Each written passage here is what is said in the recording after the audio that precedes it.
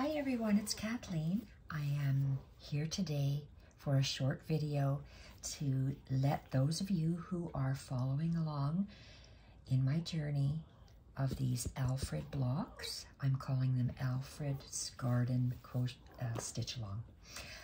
I have purchased this Alfred pattern by Forage by Lisa Mattock and I've used her patterns for the birds and I've done all of my birds. I'm doing all 20 blocks to create a lap blanket for myself. My birds look different than hers, of course, because mine, my background is wool. My birds are wool. And I've made all my, all my blocks, they flow together because all of the bird bodies are the light blue the bird, all of the bird wings are a mustard and all the bird tails are this tan colored and it's all of wool. I've stitched, hand stitched some vintage laces on here, a little bit different on every block. And I've done a similar running stitch with hexagons on every block for the background. So I wanted to use this full foolproof flower embroidery book and do some stitching on these blocks to uh, replicating some of these items. I but what I want to do on this today's video, I couldn't find uh, an example of. I've seen it on on Pinterest. I live in Canada. We have lots of spruce trees, and this is my second chance at this video because my camera fell, my iPhone fell right off my stand. So I, I already draw. I drew this once. That's my bird. Very vaguely, it looks like my bird right here. And I want all my birds to be standing on an evergreen tree of some kind. Just, just a branch, just a branch of a tree. And then I'm going to have other flowers and things and stuff in the background. Yes, it might be abstract, but that's just what I want to create. This is a stitch sampler for me. So all of my birds will be standing on a branch. And the branches that um, Jennifer has in her book, they don't resemble the, I call them Christmas trees here, uh, these evergreen trees. And we have so many different kinds in Canada. And I, I'm going to demonstrate the branches maybe uh, in different videos, or did the greenery portions. Today I'm just going to be doing a branch, one branch. And the way that I lay my stitches, I drew them before, now I might have to draw, draw them again. I'm just going to be doing this brown portion for, today on one of these blocks and then I'll go off camera and I'll do the brown portion on all 20 of mine. In Canada, we have, again, different different types of conif um, I say coniferous, I don't even know if that's a Christmas tree or not. Different kinds of, of Christmas trees here, evergreens, that stay green all year round. And sometimes there's a, a, a branch that sticks out and they just have green, green, green, green, green, green, green, lo very long green branches like what I've drawn. Other times they just have green, green, green, green sticking out like this. Other times they have a branch and then maybe some greens sticking out like this. So I'm going to do different portion, different kinds here on my on my um, on my block. So what I've drawn there is it's nice to have a branch. And when you start, I said on my other video that I had to delete, the thinnest part of your branch that I'm going to do, this is just of many classes that I've taken about about a lot of different things, different artistic things. So your focal point, if your bird is looking one way, your big focal point should be behind the bird this way. If it's in here, it's supposedly wrong. Right or wrong, I'm going to follow that rule, and I'm going to put my, my big grouping in the back. So that, for me, that means my branch will start at the beak in the front, on the side with the beak, and get thicker towards the tail. So if this guy was a different one, so my beak is on this side, so my thinnest part of the branch will be here, and it goes thicker towards the tail. And when we lay down these stitches, it is, they are uh, straight stitches, but then they go, they go like this. I've done them in previous stitching videos that I've done. And then when the branch gets thicker, we're gonna have to maybe do stitches like this. And so, but we're gonna continue with the straight stitches like this until we build up that thick branch of that evergreen tree. And that's, to me, this is exactly what we have here where I live. So that's what I'm going to do on here. And the if you hear this kind of strange noise in the background, Jacques is eating his dentabone to clean his teeth, to brush his teeth, and that's the best thing in the planet for him, so... He's going, mmm, mm, mm, yummy, yum, yum. Okay, so this, I'm using this brown yarn. Oh, for the love of God, Jock. I'm using yarn. Geez, he's so distracting. I only chose this yarn because it's a variegated brown. Because here in Canada, that's what our our greenery, our, our trees, or the branches, or the wood part is like. So that's why I chose this color. This one happens to be, I bought it in Edmonton in a yarn store that we have here. And it's homestead painted yarn. It happens to be 80% wool, 20% hemp. Do I care about that? No. Do I like the price? No. But I bought it because of the color. And hopefully it'll last me a long time. So, none of Lisa's um, birds have branches. That's okay. I'm making my own exploration. And when I bought this, I thought they would tell us what stitches to use. I look at this and they're pictures, but they're not stitches. So I guess I'm making my own stitches. So block one, I'm going to work just like she says here, block one, and I'm going to, I did that, that bird with the two wings, that bird with the two wings. So that's what this is. I'm starting with block one. I can put away Jennifer's book because it's not helping me in this case.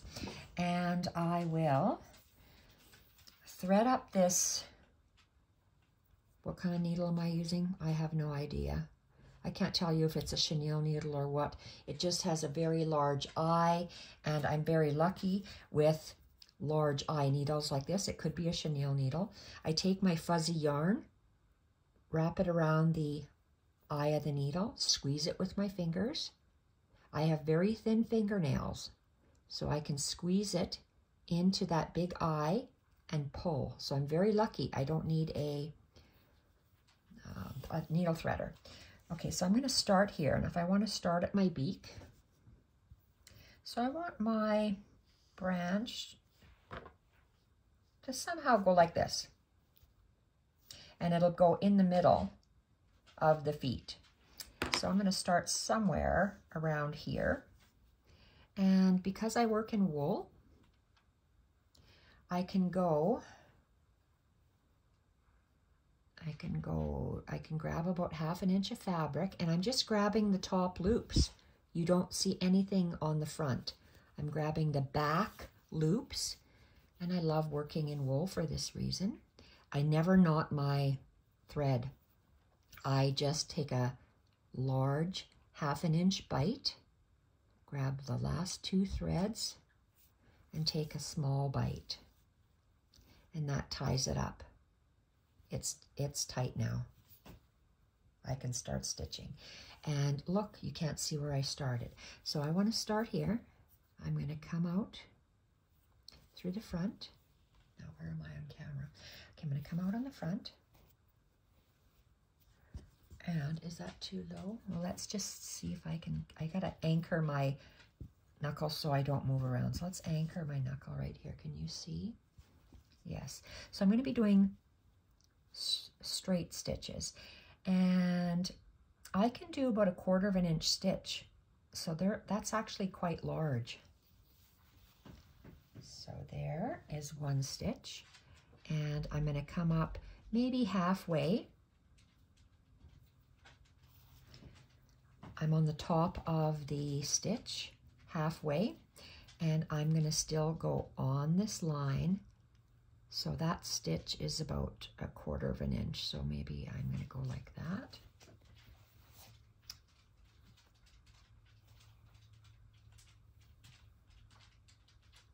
I'm going to come up. I want to stagger it. Maybe this one I still will go half. I'm underneath that stitch now. Whoops, let's go further up. I mean further to the left. So I'm, I'm still halfway. That's the whole stitch, first stitch. I'm underneath and I am I want to go quite close to uh, that yarn and I'm my little bites are going to be the same that one eighth of an inch all the way down now and I'm going to try to follow a straight line now I'm going to go on the top touching that yarn and I'm going to go an eighth of an inch and I'm making the line so it goes in between those feet. I'm going to go underneath this one. I think I can take a little bit longer stitches because that looks like it's a little bit narrow. So in my, my line is going like this, inst instead of an eighth of an inch, I might go just a hair longer.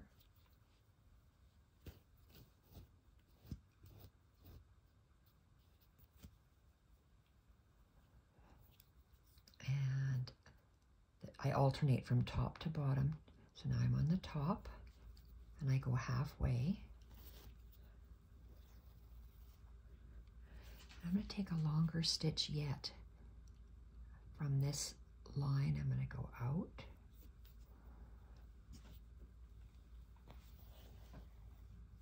And I'm going to go in this bottom stitch here.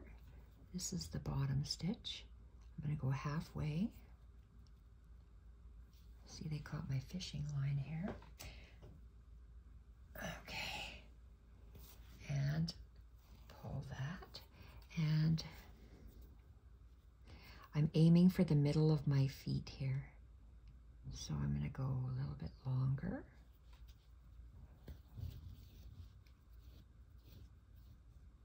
And let's go halfway between this top. Because that top stitch is there. I'm, my needle's coming up above. And I am coming out halfway between, halfway in the stitch above it.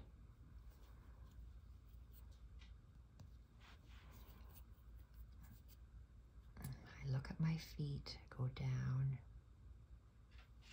Ouch.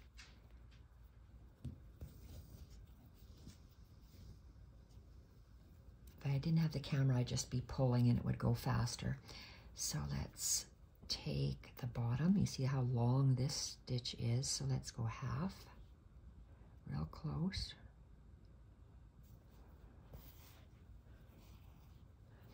And my feet. This is the center of my feet there, but I want to go down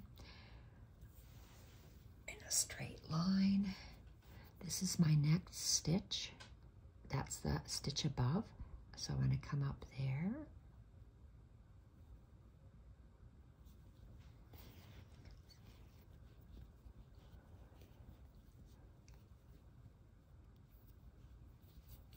Okay, I can cover up some of this. I still have a hole here, so in between these bullions. So I'm going to go there.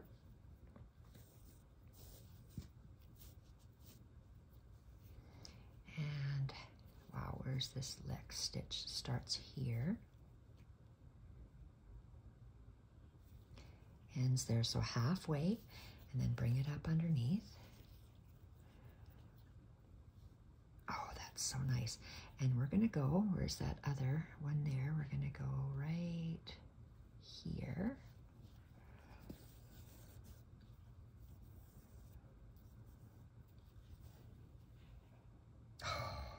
that.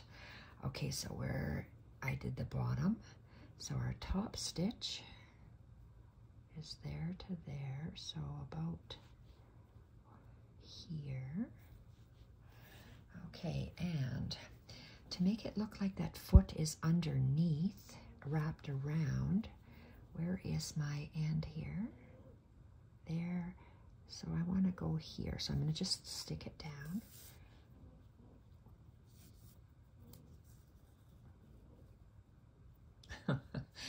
Okay, we're going to have to thicken up this branch. Uh, so if I go on that side, nope. How am I going to cover him up? Do I want to go underneath?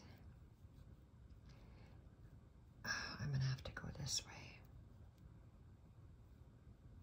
Okay, let's find that underneath one. It's from here to here. So it's right underneath that black. Feel it with my finger.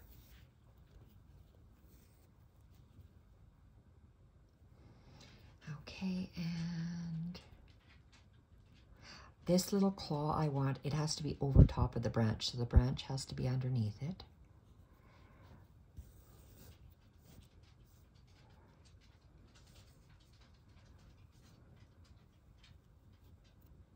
Does that look all right? I don't know. I'm going to leave it that way that is and continue. Where's my top? It's quite long. I have to come up about here.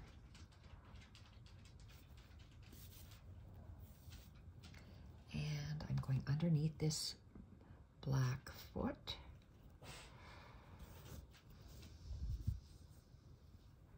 And let's see, that underneath stitch is quite long. I'm going to come up.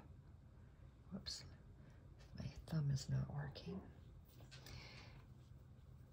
Am I underneath? Yes, I am. So where did I see that? So I'm going to come up in between. I haven't stitched for so long that I've, I was halfway doing these, uh, where's my tail?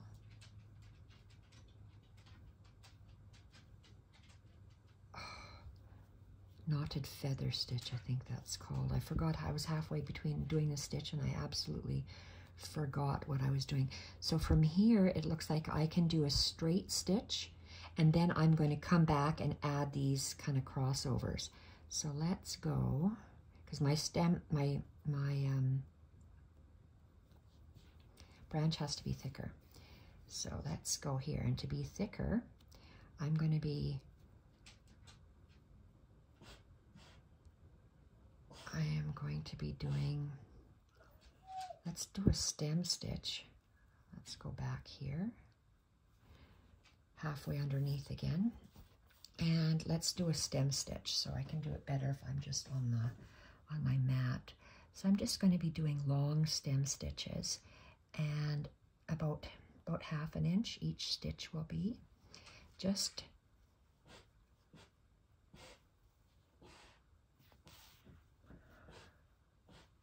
just to give it thickness, let's just do the stem stitch.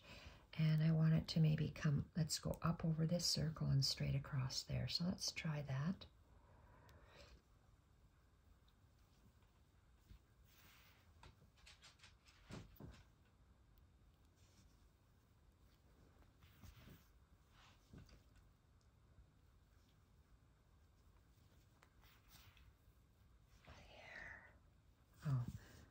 go over, just over top of that for now, and then we'll see where we're going to veer off.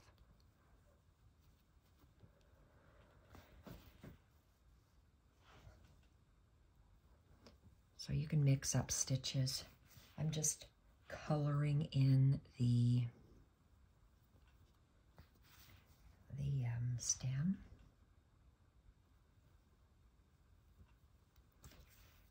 See how my working thread is underneath? You just keep it to one side, either underneath or on top. That's the difference between the stem stitch and the outline stitch is how you hold your thread.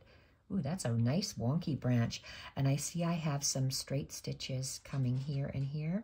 So this brown twig should go underneath here is what I want it to do. That actually went a little bit too high. I don't like that. I went too high there. So let's take that out. Rethread.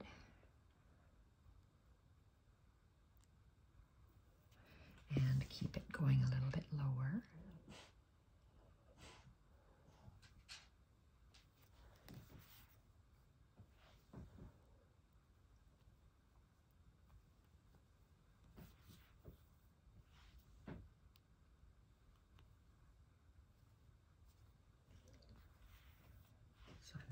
filling in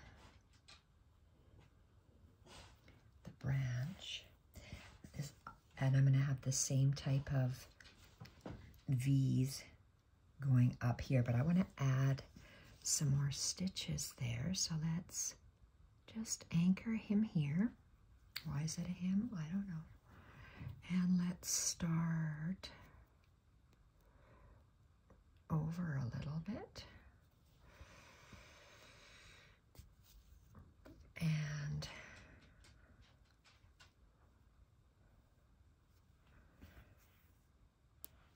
I'm putting the thread on top so it's nice and snug to the other threads.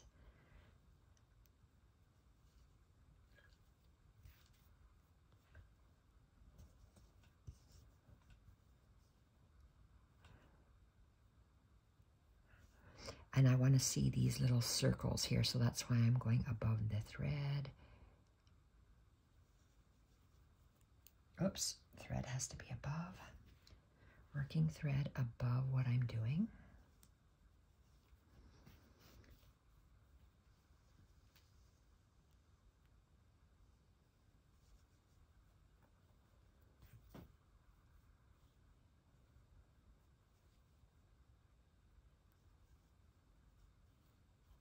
There's a little lump in my lace. Oh, good, it's covering it. So I'm going to go to maybe about here. A couple more stitches. I'm going close to the branch that uh, the existing, oh, I was underneath. My thread should have been over top, so let's move our, there. So the thread is, working thread is up and over. I made a mistake holding that and up and over. Still go one more. Let's turn it around and have a look. Oh, I like that. I'm going to go down a couple more stitches and then I'll finish off. One and ouch. Let's finish off right there. Okay, so that's the inside thickness of the branch. I'm going to continue to make my evergreen type texture after I take a, a two, two fiber bite and then a half inch fiber bite. And take that off Look at these beautiful scissors Lisa gave me. Oh my God. Okay, look at how nice that is. Let's reload. Uh, hmm. oh, good Lord. Good Lord, good Lord. Over top. okay, I, I didn't want to have to take that off, but I guess I have to. Oh my gosh. Okay, why can't I find, why can't I find the end? Oh, there it is. Okay, so I always take from the top of one shoulder to the fingers of the other hand. Okay, so, and where is this? This is this is the browner side, so I'll have near that near the my work and have the tanner color up here. Okay, so where do I, I want to continue. It has to continue there, so that's where I'm going to start. So I come in at a good half inch.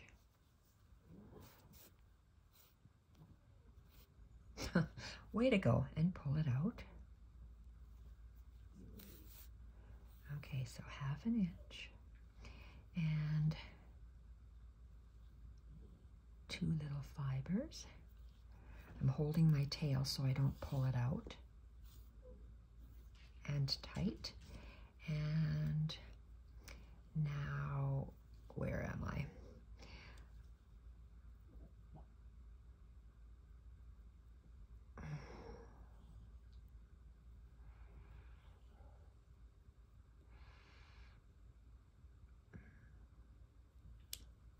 Where I start?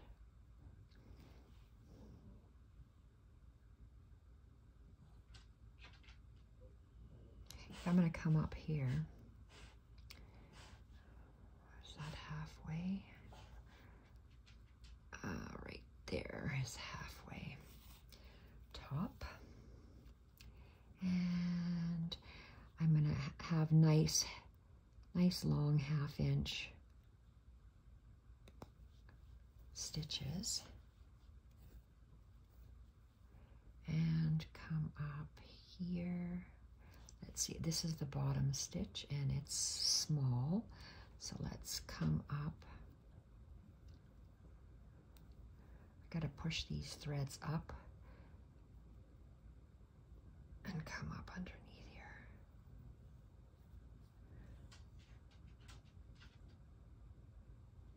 Stop do that. We don't have to push them up. Let's just come up here. So I'm underneath and getting a long st stitch. Let's go.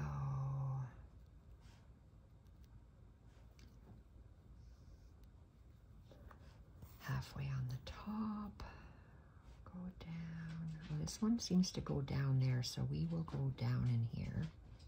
Or let's just wait, let's see. Down further. I have to go down to fill it in. Work with what you have, because I think I twisted my threads going up. And halfway up, let's go here. And let's take a nice large stitch and halfway.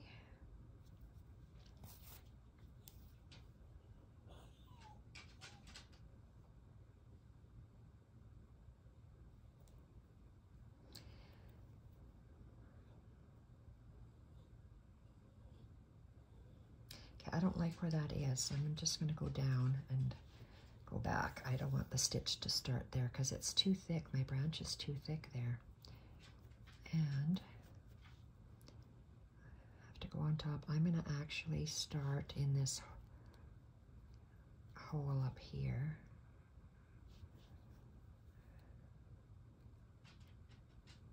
Well, I have to. I have to start in that hole there.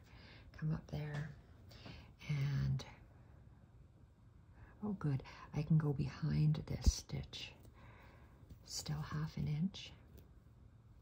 And let's go halfway. This way.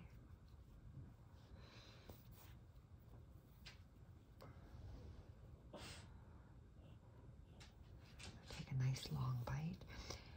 So by having a, a similar branch that every bird is sitting on in for all of the 20 blocks, it'll be nice and uniform.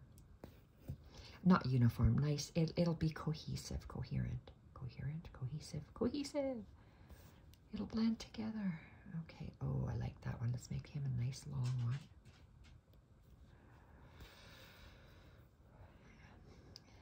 That.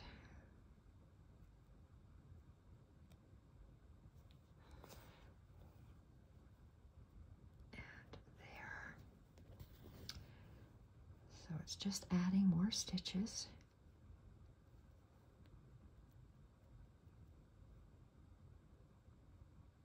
This one I didn't go halfway. I went right at the end of it because he's really thick already. There, he's got a kind of a lump there growing. Excess lump in his growing season. And there. Now bottom. I'm going to go halfway.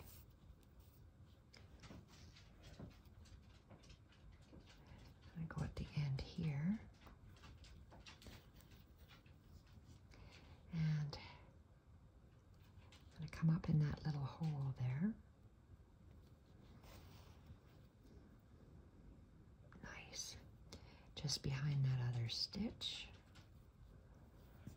That's a branch. Nice thick branch. And this this yarn looks like twine actually. And let's see, where's this guy gonna go? Just over here.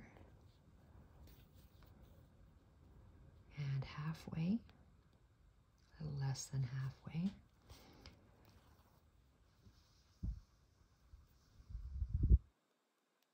Behind there.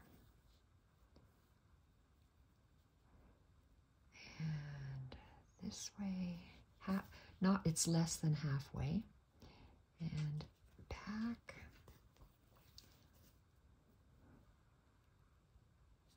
Less than halfway. And back. So for the rest of these blocks, I'm going to be adding a little branch. Every, every little Every block, all 20 of my blocks will have these branches on them. And I'm going to play with evergreen. Evergreen threads, branches, fluff, greenery. Okay.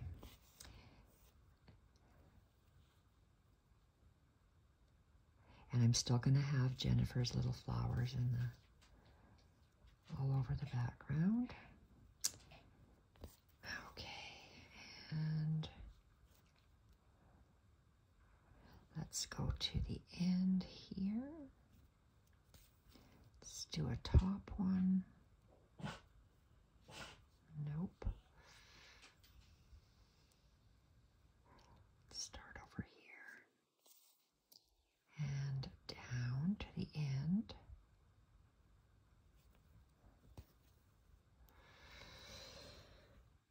Okay, I want one more on the bottom.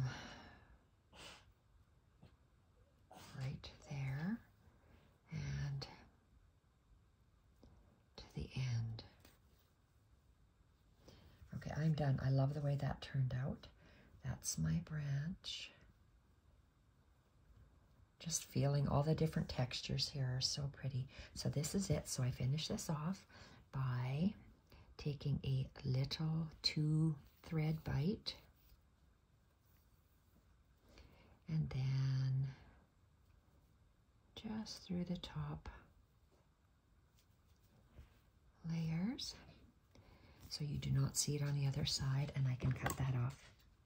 So I'm going to be doing all of the other blocks just like that and hopefully the yarn will change. I'll have some of the darker shades of brown as we go more lighter and more darker after I sew for a while. So that way it, it'll go, the variegation will go from block 1 to all the way through block 20. My stranded browns will change throughout. Thank you everyone for watching and I'll see you back for in the next video for some greenery. Thank you everyone for watching. Bye for now.